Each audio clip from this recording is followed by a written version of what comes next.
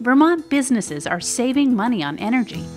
Vermont Glove is a leather glove uh, manufacturer. We, we manufacture heavy duty work gloves and general use work gloves and lineman protector gloves for utility companies across the U.S. We wanted to make some improvements to, this, to our building and both for the warmth of the building as well as for the energy efficiency of the building. So we called Efficiency Vermont and they came in and did a walkthrough with us really identified what was quickest and easiest and then what was going to have the biggest impact. And then they even incentivized it for us so we wanted to do it.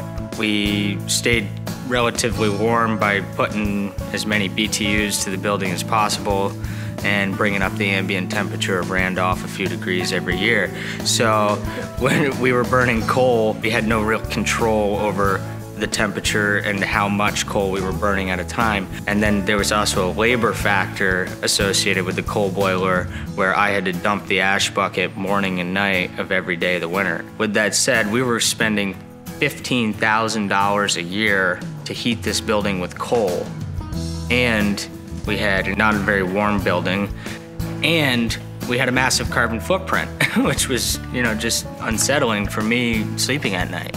So when we transitioned to pellets, after all the insulation and air sealing efforts, our cash layout for uh, heat source was $3,500. So we went from $15,000 to $3,500 in one year. We transitioned the coal boiler to a pellet boiler.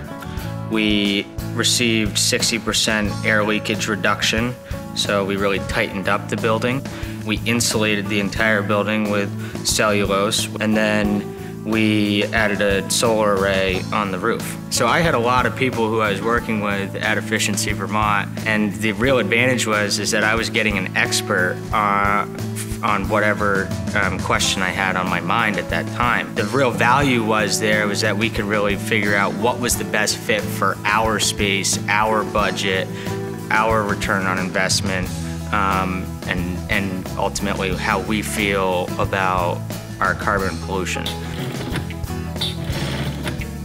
My advice would be call Efficiency Vermont firstly and use the resources that are out there and around the state that can help you achieve what may seem like too daunting of a task or or um, too daunting to overcome. So there are resources, there are experts, and they make it a lot easier. Get your free small business energy consultation. Visit efficiencyvermont.com slash bizconsult.